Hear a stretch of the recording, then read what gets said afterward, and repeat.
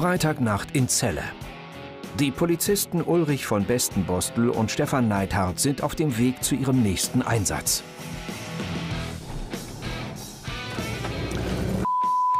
Straße, dort ist es gerade wohl zu einer oder kommt es gerade zu einer häuslichen Gewalt. Der Verursacher, der Täter soll noch vor Ort sein. Äh, laut Leitstelle läuft das Gespräch noch, da werden wir gleich noch nähere Informationen bekommen.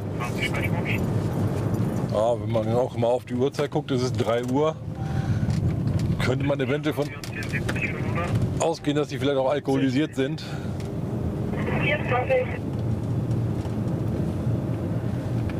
Ja, also zum Sachverhalt. Herr ist wohl im Moment beim, auf dem Hausflur und er hat Frau vorher geschlagen. Sie hat sich in der Wohnung verbarrikadiert. RTW rollt. Äh, ja, mehr weiß die FNL leider auch nicht. Ja, wie gesagt, man kommt dann zu einer Situation, die man vorher noch nicht einschätzen kann. Und wir überprüfen jetzt gerade, ob der schon irgendwelche Erkenntnisse hat, der, der Ehemann, der geschlagen hat. Ob das jetzt ein Körperverletzer ist, ein Widerständler oder ähnliches, dass man da schon so ein bisschen vorbereitet rangeht. Und ansonsten müssen wir mal gucken, wie sich die Lage dann da vor Ort gibt. Mit einer weiteren Streife treffen die Polizisten am Haus der Familie ein. Sie bauen Kontakt mit der Frau auf, um sicherzugehen, dass sie nicht in Not ist. Frau die Polizei, Sie hatten uns angerufen. Sie hatten die Polizei gerufen. Ja, die Polizei, hallo. Hallo. Frau machen Sie mal die Tür auf, die Polizei ist da. Morgen. Keiner auf. Nee, Frau hat das, war völlig verschlafen. Jetzt ist sie gar nicht verheiratet. Das ist schon ein bisschen seltsam. Also ähm, es wurde ja gemeldet, häusliche Gewalt. Sie hätte sich in der Wohnung verbar verbarrikadiert und er würde irgendwie vor der Wohnung ja, im, sich im Haus aufhalten. Aber sie klingt jetzt gerade, sagten die Kollegen, die zuerst mit ihr gesprochen haben, über die Gegensprechenlage verschlafen. Und äh, wir haben ja jetzt mehrfach gesagt, wer wir sind und was wir wollen. Und äh, sie macht halt nicht die Tür auf. Und jetzt soll unsere Leitstelle nochmal Rücksprache mit der Rettungsleitstelle halten, über die ja wohl die ursprüngliche Meldung kam. Und dann, dann müssen wir mal gucken, was hier ist. Guten Tag. Sie hatten angerufen bei uns. Gott, es sind noch so viele. Ist alles gut. Es ist einfach ein bisschen eskaliert. Oh, Wollen wir mal reingehen? nein, es ist alles Ja, wir, Luna, wir haben jetzt Kontakt. alles gut. Gut, und woher kommt das Blut da? Aus dem Blut? Am Pullover? Das ist doch Blut, oder nicht?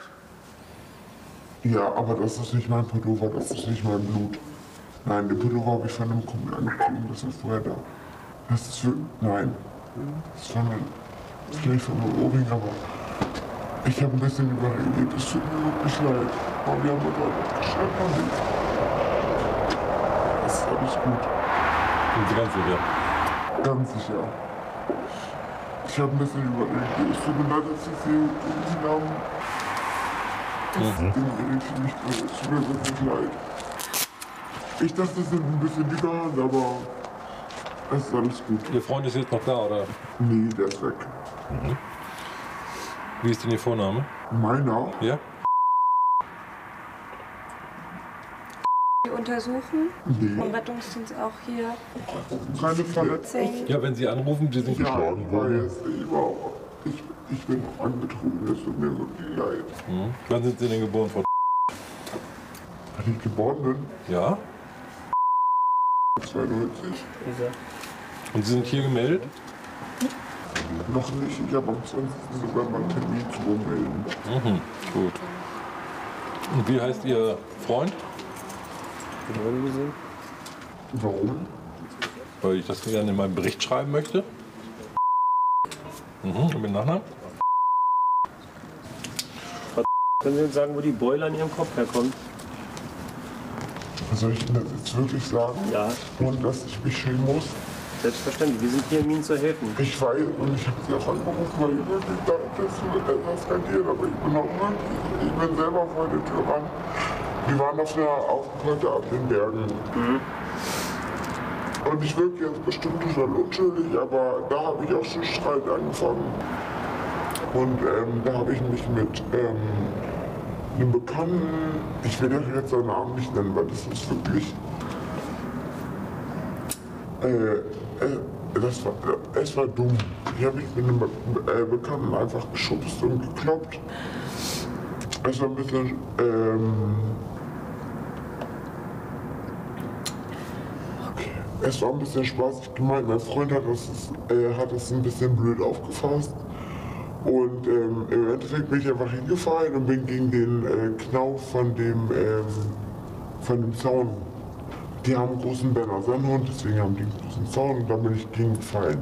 So, deswegen habe ich hier diese Beule. Mhm. Mit Ohrring habe ich mir selber rausgerissen. Mhm. Ich bin doch einfach betrunken. Gut. Was ich Sie jetzt wissen möchte, dass die Damen und Herren hier vom Rettungsdienst. Ich habe einmal, ich, ich, ich, die Bohle angucken. Ich weiß, ja, können Sie auch gerne. Ich habe mich einfach mit meinem Freund gestritten und ich habe das einfach ein bisschen überinterpretiert. Sie müssen dazu wissen, dass ich halt auch einfach sehr temperamentvoll bin. Ich wollte sie gar nicht anrufen, ich wusste auch nicht, dass sie so eine Kunde bekommen. Wo ist denn Ihr Freund jetzt? Äh, das weiß ich nicht genau. Wir würden ganz gerne einmal im Haus gucken und in Ihre Wohnung, ob er da ist. Nee. Sie machen ziemlich aufgelösten Eindruck. Und die Beule, die Sie am Kopf haben, die ist mit Verlaub gesagt nicht ohne.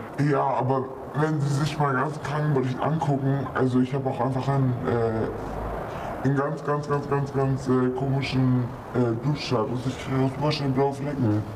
Was uns allen so ein bisschen spanisch vorkommt, ist die Tatsache, dass Sie bei der Rettungsleitstelle anrufen. Ich weiß. Eine Hilfe, jetzt sind wir hier und deswegen würden wir ganz gerne einmal abklären, dass da wirklich alles in Ordnung ist. Ich weiß, es ist auch alles in Ordnung. Davon müssen sich von Besten Bostel und Neidhardt selbst überzeugen. Aber, aber ganz kurz, ich möchte nicht, dass wir mit äh, sechs... Nein, wir, wir beide gehen hoch. Zwei. Wir genau. kommen rein und alles ist gut.